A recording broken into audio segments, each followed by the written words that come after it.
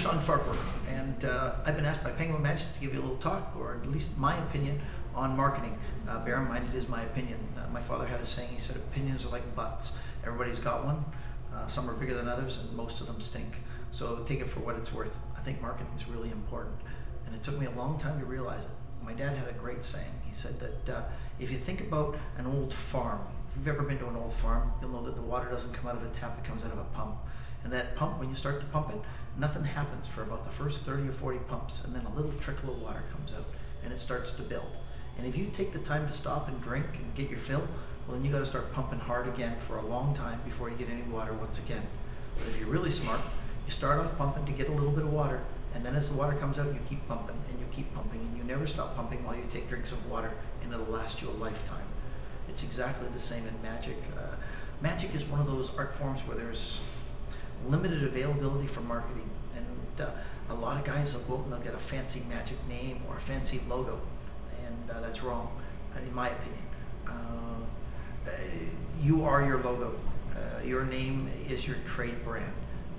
I, I, there are dissenters that write to me and or say things on you know eh, he's got his face on every piece of product. He's got his face on the website. I got my face everywhere.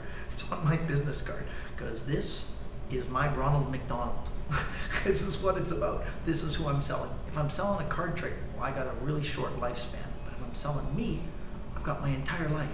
Billy McComb aged gracefully, and you always knew what Billy McComb looked like and who he was. He sold himself. And that's what you got to do when you market. You sell yourself. Uh, if you sell a logo, well, the logo could be captured by anybody, run with anybody. But if you're selling you, nobody else can ever copy you. You're a one in a lifetime individual. That's the way we're all made, uh, like it or not.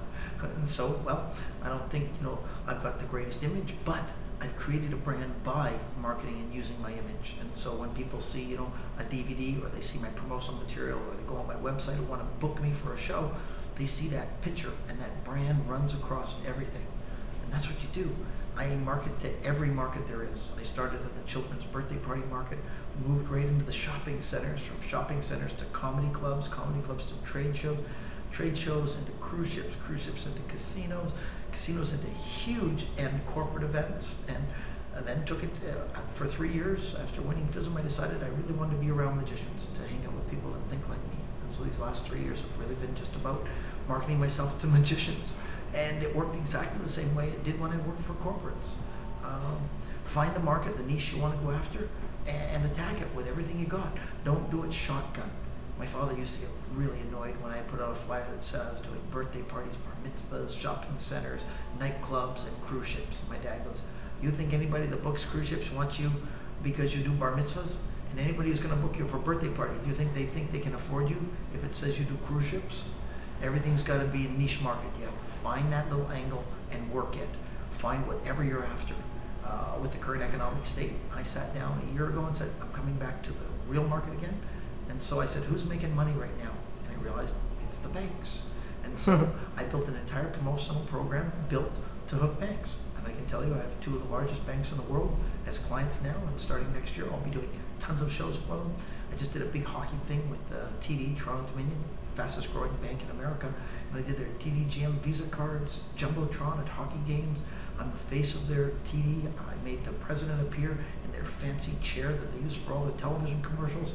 And uh, it's going to be a nice contract for a very long time as a direct result of actually niche marketing.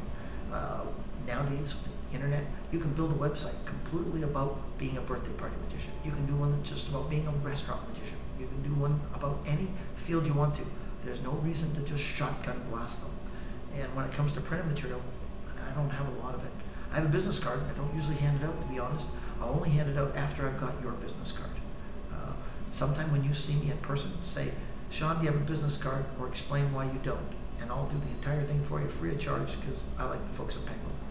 I hope the little things I've told you will help you and that uh, your growth in magic continues. Uh, remember, my dad said, uh, show business is made up of two words and one's got more letters than the other, it should be paid maybe a little bit more attention. You can be a great magician, but if you actually want to do it for a living, you got to spend a little bit of time in the business.